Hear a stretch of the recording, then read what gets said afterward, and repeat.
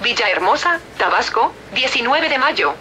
El candidato del PAN a la gubernatura del estado, Gerardo Priego Tapia, realizó un recorrido por el mercado de la sierra, para presentarles a locatarios y comerciantes su programa gigante de microcréditos, el cual es una opción para generar empleos.